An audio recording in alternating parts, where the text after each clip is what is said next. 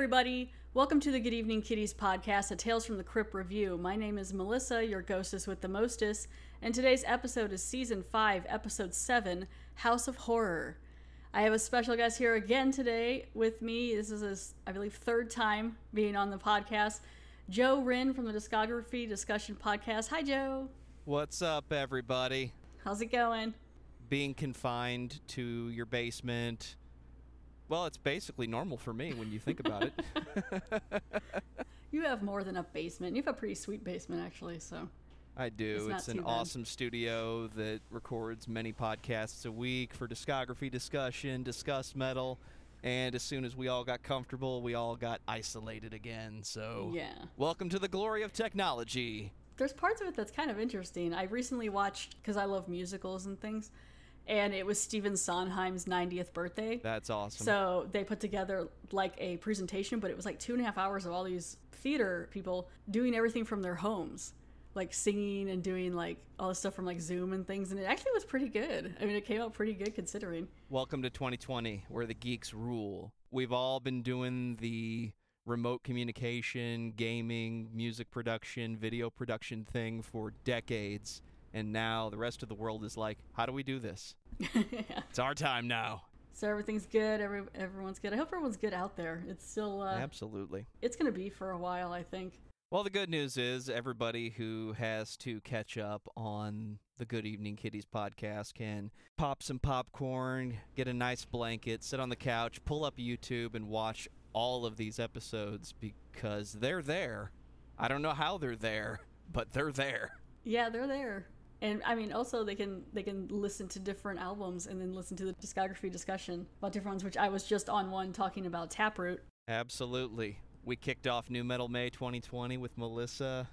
The current top downloaded episode of our podcast, Slipknot, featured you, and we brought you back again for Nu Metal May, led off with Taproot. So we'll see if the trend continues. Yeah, we'll see. I don't know. It's Taproot. Slipknot's got a little bit more of a a pull, I think, than Taproot. But yeah, so you ready to talk about this pretty straightforward episode? I am so ready for Wil Wheaton in his underwear. It's not even funny. Oh gosh, Kevin Dillon is so bad in this. He's just so annoying. Okay, season five, episode seven, House of Horror. I do not have the box still with me to have the info. It's somewhere in the apartment. I will find it. So for right now, I'll just go through IMDb. As always, John Kassir does the voice of the Crypt Keeper, and Danny Elfman does the theme song. This episode aired October 27th, 1993, and the summary for House of Horror is Three pledges for a fraternity on probation, run by a soft spoken leader and his two sidekicks. Okay. Is Are this guy soft spoken? No, are visited are visited by a beautiful young sorority gal who is looking for a frat to pledge her own sorority. I don't think that's right. Ends up tagging along with the pledges to an abandoned house where an urban legend murder took place years before. Basically, it's just some pledges trying to prove themselves in a fraternity, and so they have to go to this house and do certain things, and it's like an abandoned house, and it's creepy, and things happen, and twists and turns, and then it ends kind of crazy. You can say crazy. I would say beyond stereotypical. There's the early and mid season Tales from the Crypt where, yeah, it was horror, yeah, it was comedy, but it was still kind of complex and interesting. This one reads start to finish like an episode of Are You Afraid of the Dark? Yeah, pretty much. Well, I still kind of like the ending. It's it's kind of fun. I thought it was fun. Oh, don't get me wrong, I love the episode, and once again, congratulations. You asked me to come talk about an episode that I do remember fondly from the glory days of Fox. I think I just had a I had a feeling. I was like, you know, I feel like Joe would have something to say about this episode. Oh, I have not that much to say, but I do enjoy it. I mean, you have fond memories of Tales from the Crypt when your first exposure to it was primetime TV, not HBO, as I've said before. So this one is on the list of episodes that stand out in my memory. And I'm not going to talk about the ending just yet, but No, let's it's not. kind of interesting to me how the plot line goes in that direction. So we'll get into that. Yes, so this episode was directed by Bob Gale, who also directed the Back to the Future TV series.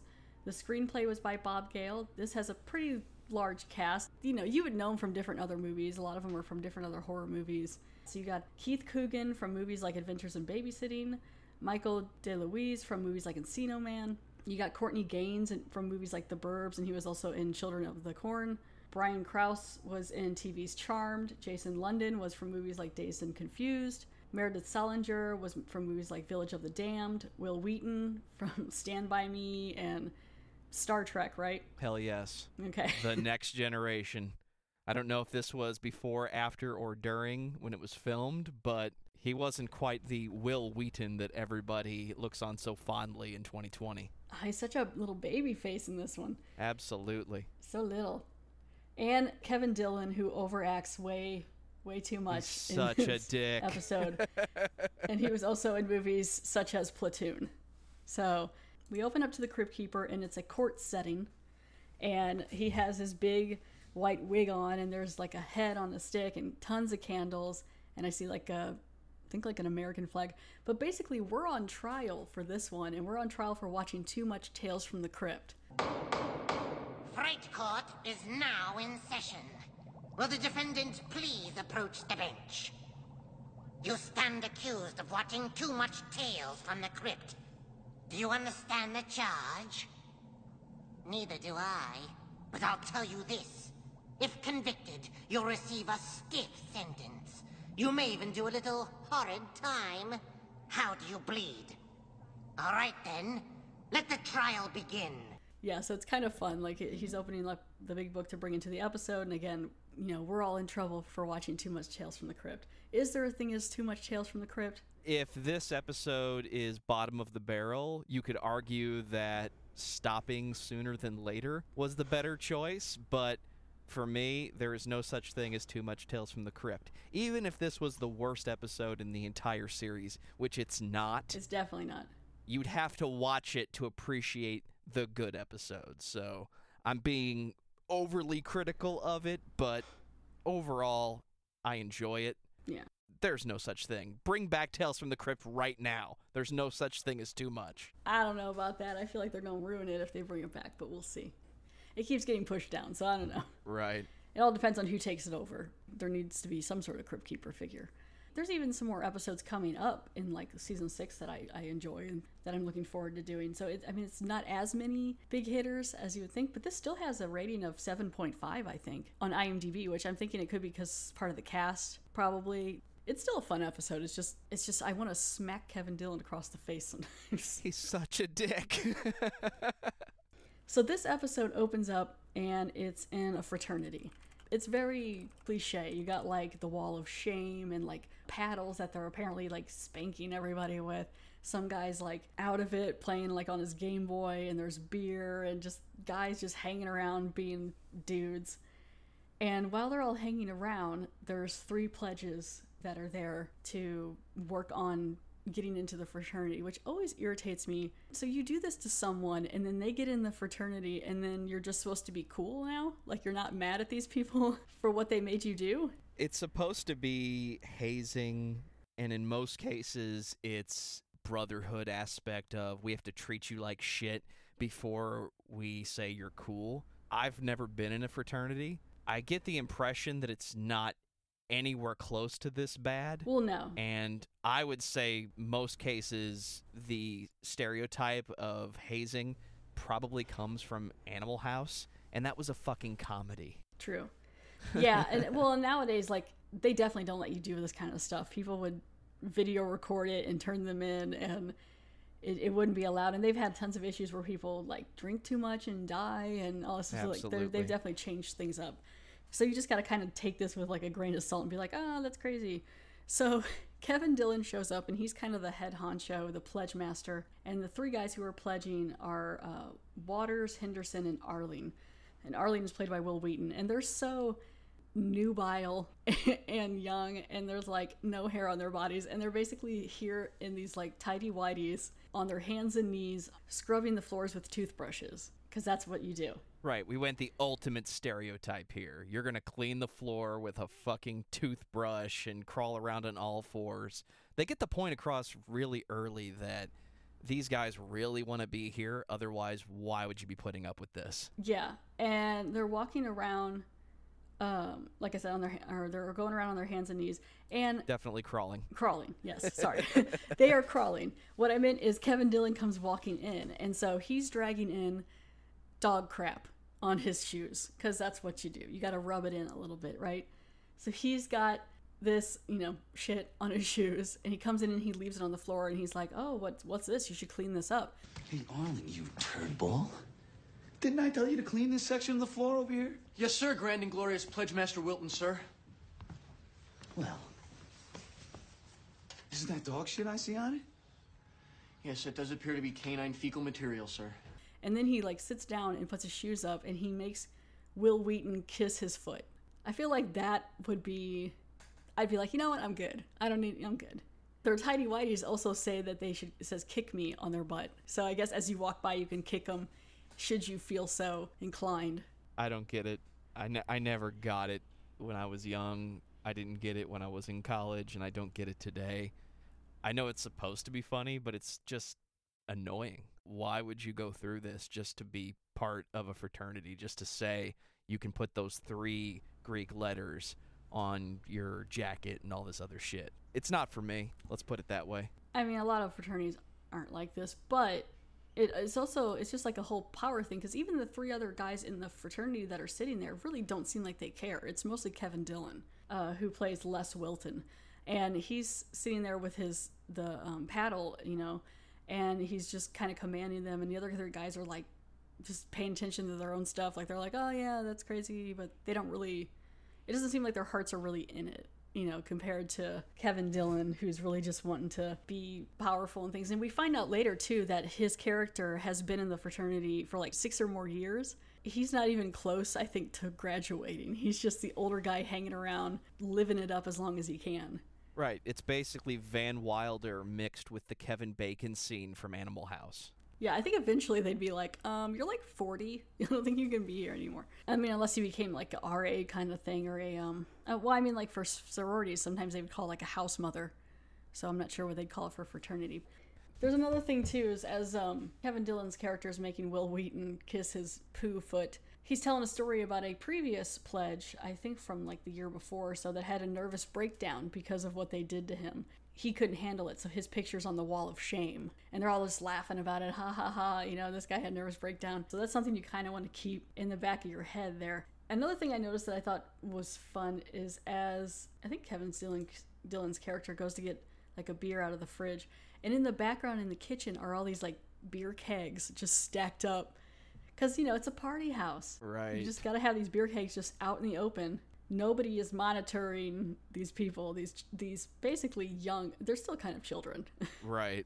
so while that's happening the three pledges are all sitting there and they're all like one's got like kind of like a bowl cut and they got glasses and they're all kind of skinny and nerdy and they still have like their white socks on too and they're talking about how they would love to just like beat the crap out of them and if they just hang on a little longer they can get in here and but it's still like why would you want to i don't want to be friends with these guys there's a knock at the door, and that's where we meet Mona, played by Meredith Salinger. Part of being a pledge is you have to answer the door. So Wil Wheaton comes over on his hands and knees and opens the door, and it, we're met by a pair of legs, and then it goes up, and you meet Mona. Why, y'all didn't have to get so dressed up just for little old me. Arlie, what's a pledge supposed to do in the presence of a lady? Oh, welcome to Gamma Delta Omega. Pledge Arling at your service, miss. Just call me Mona. My, you're quite a gentleman. And she seems sweet. Doesn't she seem nice? She's nice, but she's also playing that stereotypical 90s female college character. Yeah. She's in high heels. There's no reason for it. She's holding what appears to be a composition notebook and a trapper keeper, and she's here to recruit the fraternity to partner with the sorority for social events. Yes, because I think that's kind of a thing. I think usually there's like, at least I've seen that in other movies too, where like the one sorority will be partnered with a fraternity. Right, because the stereotype of the party in college is, or at least in the college towns, you want to have the guys and the girls. How do you get both in the same place when Some of them don't want to mingle. Yeah. They're basically like, we need to find some guys that we would like to bang. Are you bangable? Or can you bring bangable people to our party? Yes. Are there other bangable people here? Let's let us bang. So she's coming in, and this the one guy, the president of the house or whatever, seems to be. I mean, they all seem like they're trying to be nice to her, and she immediately kind of acts like she's into Wil Wheaton, even though he's on the floor. Like she's already kind of flirting with him, like, "Oh, thank you so much for opening the door for me." Like not at all weirded out or laughing at the fact that he's on his hands and knees in his underwear. It's almost like she expected to see something like this when she showed up. She probably did. She's probably like, "This isn't that bad. I'll take it." Like I've seen some worse things. So she's coming in, all the guys are like kind of flirting with her and stuff, and she says that she's from the sorority Delta Omega Alpha, and I was like, "Oh, DOA, okay, that's okay. Is that something we need to hang on to for dead? What is that? Dead on arrival?" Absolutely. So I was like, "All right, DOA, sure, sure." And so she comes in, and all the guys are talking to her, and she's explaining how she's looking. They're looking for a fraternity for the sorority. They want to have certain standards, and I think the guys are also like, "Well, you know, we'd like to meet some of the girls from the sorority." Again, let's see who's bangable, I suppose. Uh, it's 93. It really wasn't more complicated than that. And then Kevin Dillon's character shows up, and they're like, they're all, I mean, they're kind of being rude, but they're trying to, They're trying to be cool. yeah, But he is so into his job of being the guy with the paddle that he's basically turning her down and hitting on her at the same time. yeah. Melissa, I have a question. Does that work? Oh no, no, no, he's gross. yeah, no, I would, I, I, uh, I was like, no, that's not gonna work. Never. Because she's automatically. I mean, if anything, the president guy's got a better chance. The guy standing next to him. Right. He's like, we'll talk about it, you know? We'll see what happens. But yeah. But yeah, Kevin Dillon's character is like, we could, and then like I, you know, we could go to dinner, or we could, you know, you can hang out with me, or you know, all this stuff. And so they're like, well, how about tonight? How about we get together? And the fraternity guys are like, well, this is like the big pledge night. We kind of have a thing we're going, we're doing right now, like a ritual that we have to go do. So they ended up inviting the girls, come to this house that we're going to be doing the ritual, and we can all meet up there. And so they're driving over to this house that's been there for I think like 60 years. Yeah, they start talking about the legend of the coughing ghost. End of the line, kiddies. Pledges walk from this point on.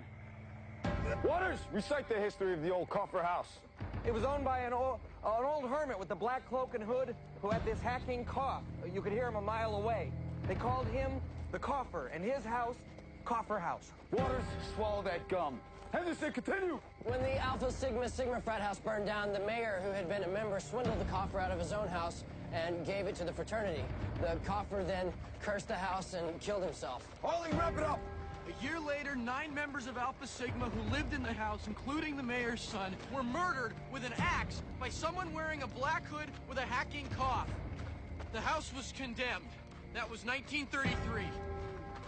Ever since then, people say the cougher's ghost is still in there, making sure nobody's in his house. They say you can still hear him coughing. Essentially, it's a haunted house situation. Nothing fancy. It doesn't have to be fancy.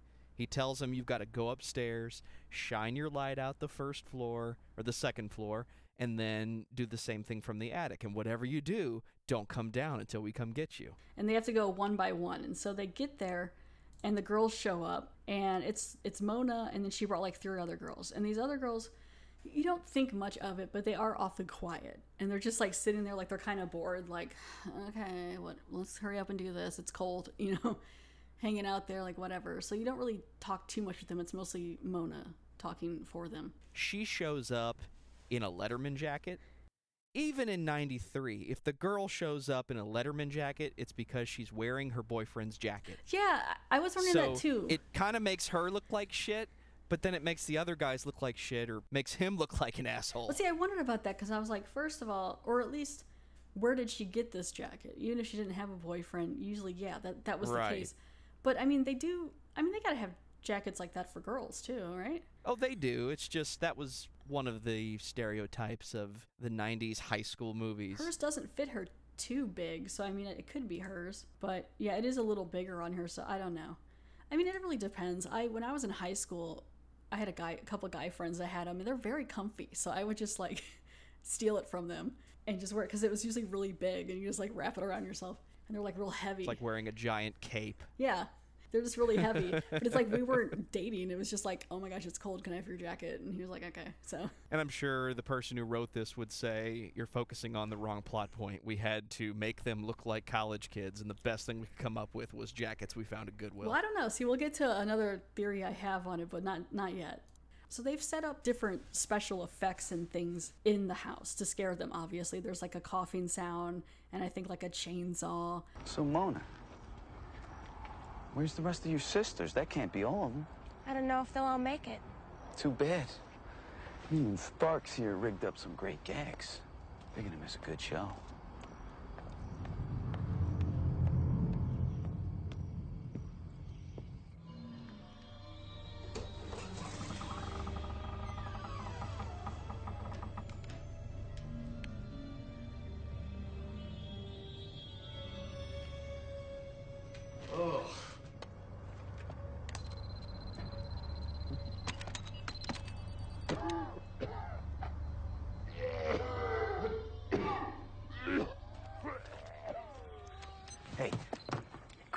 Great Sparks.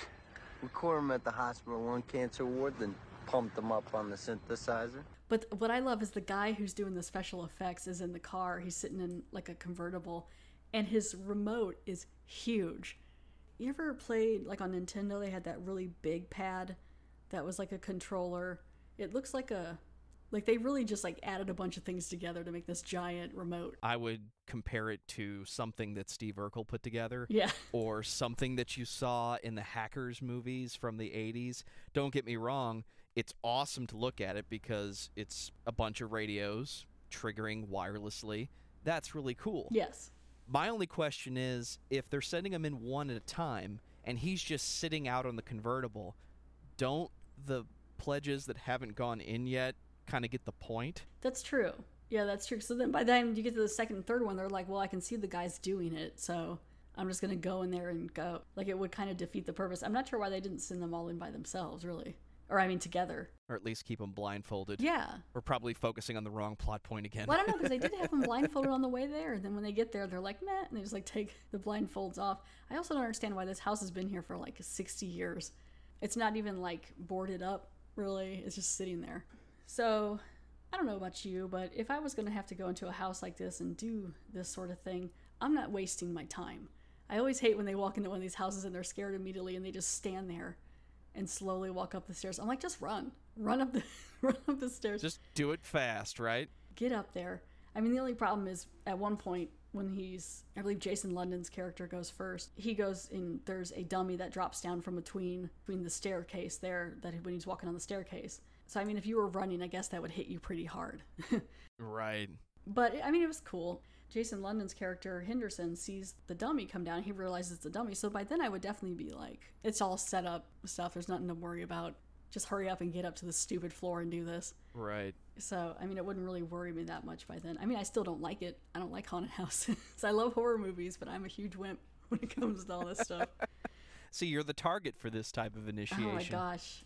Oh, I, I wouldn't even do it. I'd be like, you guys are on your own. I'm doing this. Yeah, so what they're figuring out too, the guys who are in the fraternity are noticing that some of the sounds are coming on without him hitting the button on the remote. So they're like, I thought that was supposed to be a chainsaw sound. And the guy's like, it was. I don't know what happened. I know. I guess it's acting up. So Henderson, Jason London's character, makes it to the second floor and he flashes the light. And so they're like, cool, he made it. Now he's just got to work his way up to the attic. Wil Wheaton's character sees a guy in like a cloak or something walking through the window. There's somebody on the second floor with a cloak and an axe. Are you shitting me, Arling? No, man, I swear to God, I just saw him.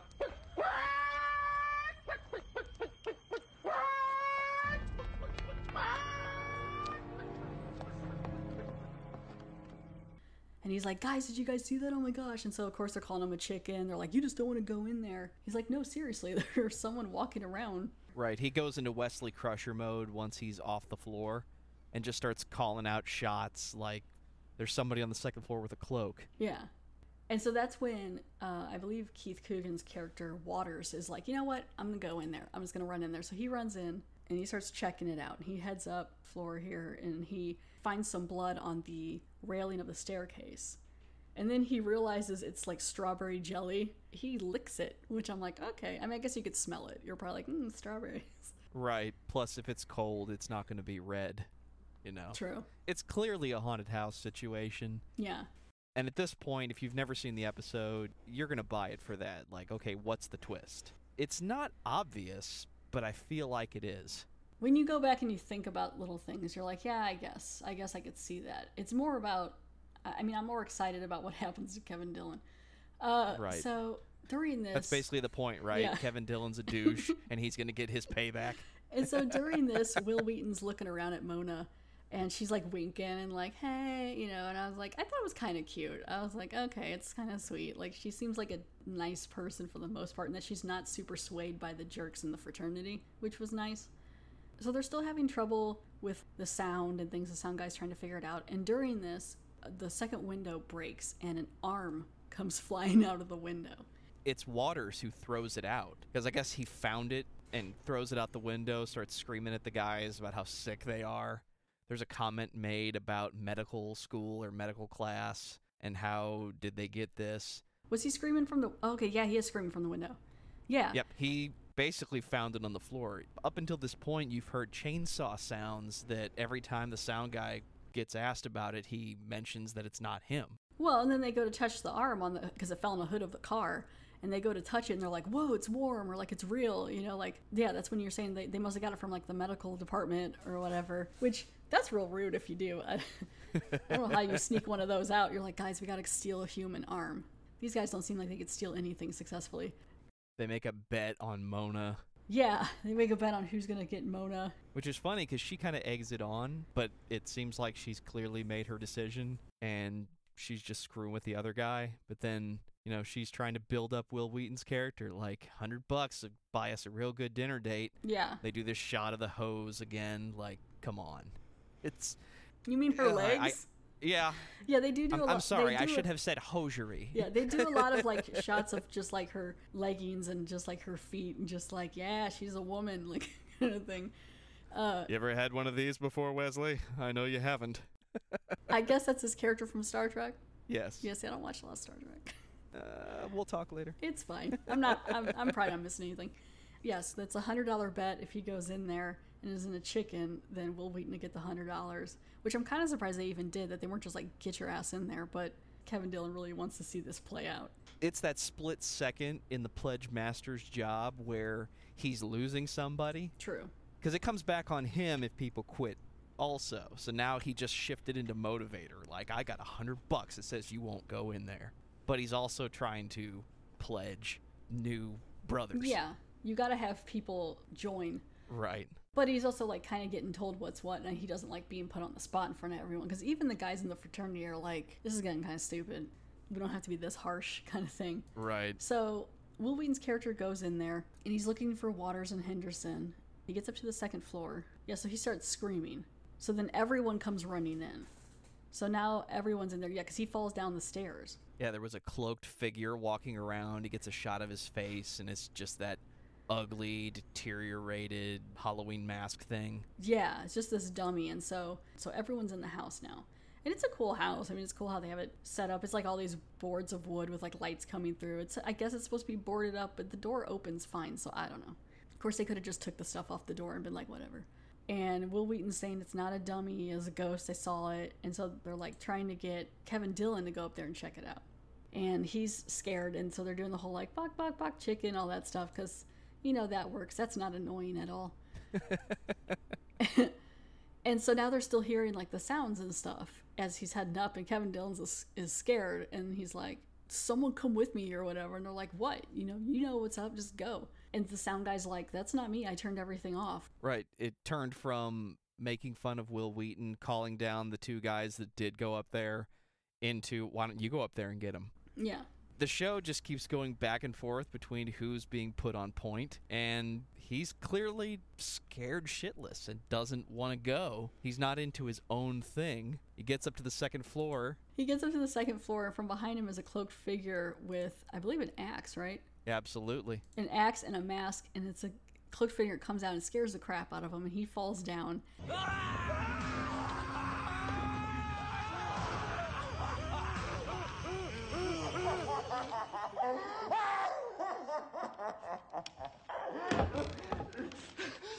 you remember me?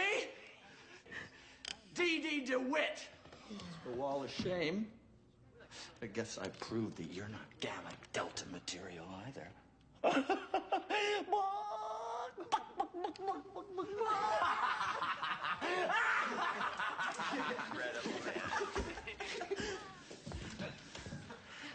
and about those other pledges, I put a note on the attic door telling them not to signal or do anything until they heard the password, happy birthday. And I signed the note, Les Wilton. Nobody does that to me! It's that pledge from the year before that was on the wall of shame. Calling bullshit. He's got his glasses on under the mask. That doesn't work that way. Yeah, that's true. It- unless he had them like in a pocket and took it off real quick or something. But I don't think so. But yeah, so he's there, and so what he's saying, this guy that they'd been teasing, is that he left a sign up on the second floor to let the other guys know So I put a sign on the door that says, "Don't come down unless you hear the phrase happy, Happy birthday. birthday." Which, sure. So you hear the phrase happy birthday, that means it's safe, you can come down. So that's why the guys were under the impression that Waters and Henderson are hiding somewhere and waiting to hear this. So now the girls are bored. Mona and the girls are like, you know what? This is stupid. This, yeah, this is stupid. So they go to leave, and Kevin Dillon's like, no, Mona, wait. No. And then even the guys in the fraternity are like, you know what? This is, no one cares anymore. Why are we doing this? But yeah, I do like how everyone was like laughing when that guy showed his face, the guy that they teased, because he did get them pretty good. Oh, he did. Even the guys in the fraternity kind of have respect for him. They're like, "Yeah, that was pretty good, man. That you got us pretty good. It's fine. You know, no hard feelings." It was mostly Kevin Dillon's character that this guy was mad at anyway. It seems like. Right, and of course, this is the part of the episode where the arm from earlier comes back to haunt them. Yes. Somebody's apparently been carrying this thing around for Courtney the past five Courtney minutes. Gaines' character is just carrying it like, "Hey, y'all see this arm?" Even though they guess it's from a cadaver, and he's still carrying it around. Like, you guys see this arm? It's still kind of warm. I think. I don't know. Maybe someone sat and on they it. look at the class Yes, ring. they see that there's a pledge ring on it. And, oh my gosh, it's Henderson's arm. They're freaking out about that, and while they're doing that, Kevin Dillon's character is heading up to the second floor, and he sees the note that has like a, of course, it has like a, a dart on it, holding it to the door. So he heads upstairs. He, he's mad. He takes the sign off the door, and he's looking for Waters and Henderson. He's like, "Come on, guys! Happy birthday! Happy birthday! Let's hurry up and get out of here so we can go." So he gets up to the attic. There's like, you know, a bunch of old furniture and like sheets on everything, and it's dusty. And there sure is a lot of light coming into the house from all directions. You think because they left some of their car lights on, but it almost seems like they set up floodlights everywhere. And so he's looking around and he comes over and he finds this trash can and it's just full of body parts like skulls and all the meat has been like picked off of everything. It's just a big old bucket of meat. Big old bucket of meat bones. and that's when Mona and the three other girls come out. Some other girls are with them too now. And they come out and he's like, What's going on? And she's like, Welcome to Delta Omega Alpha Pledge Night. we just love fraternity boys. You see, DOA is an all ghouls sorority.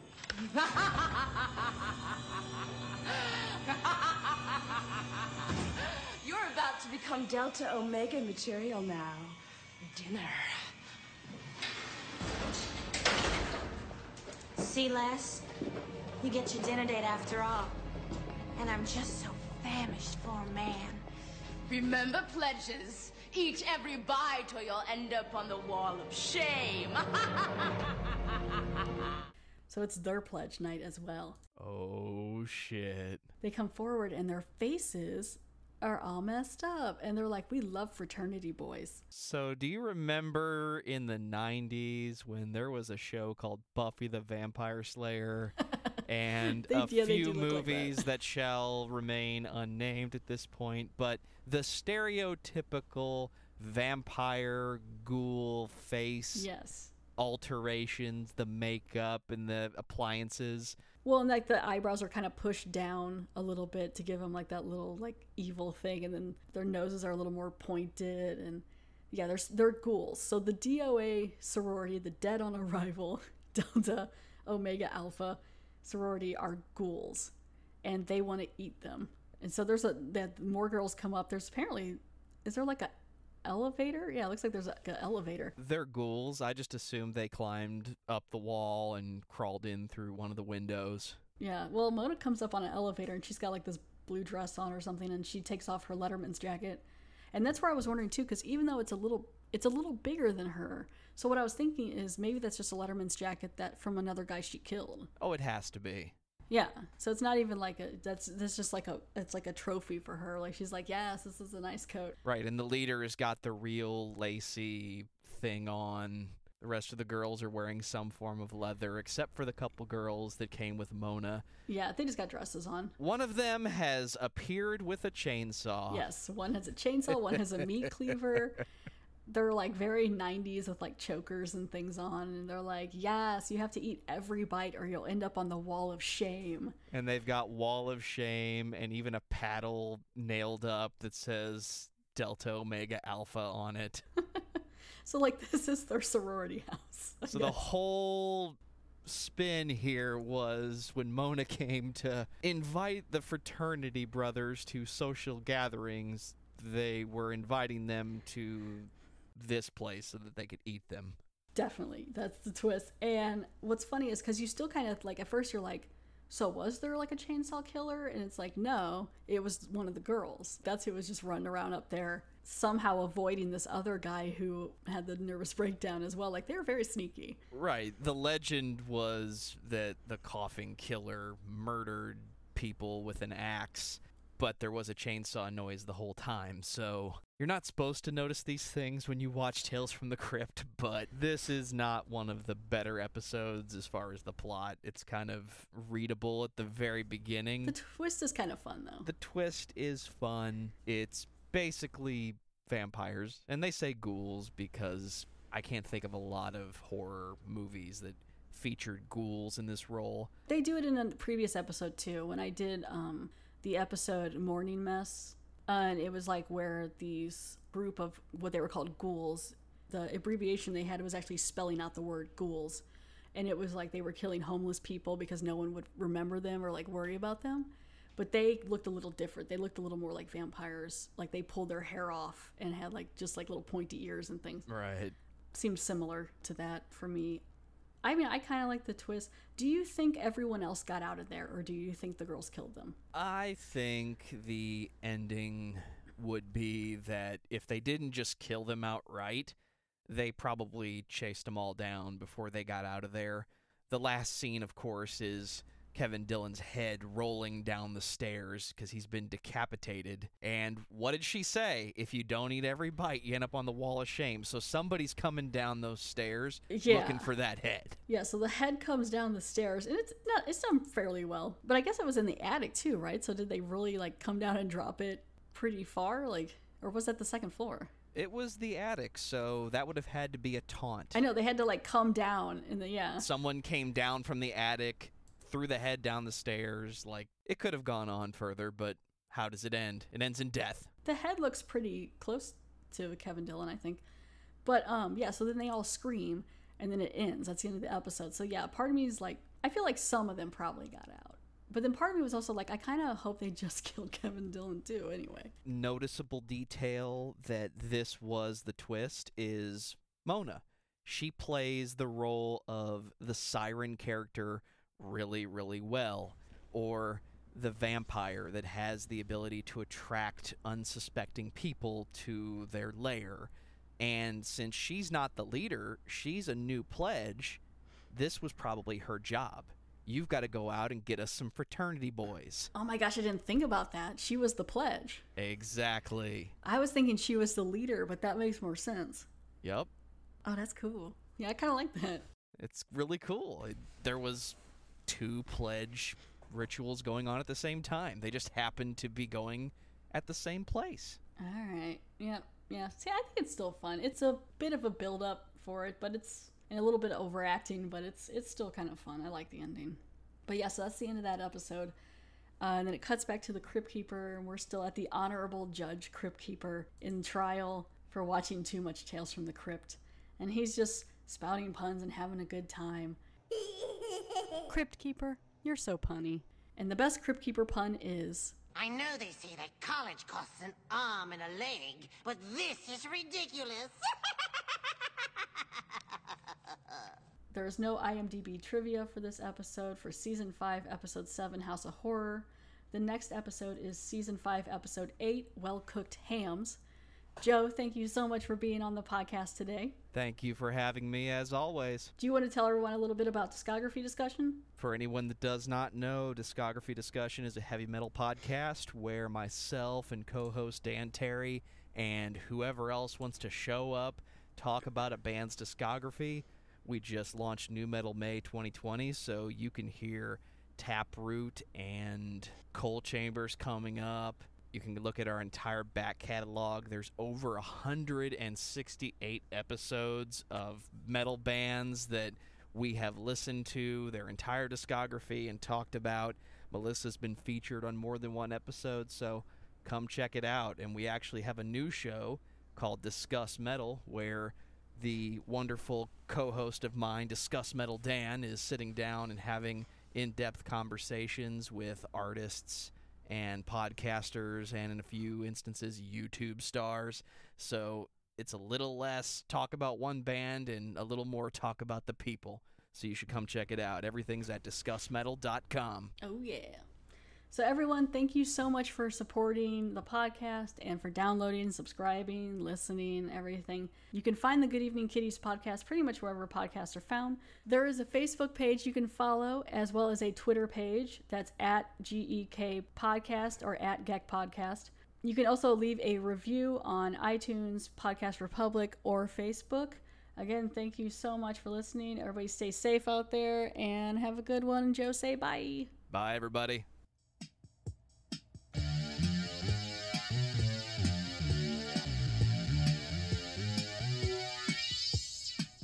Just had quite a scare.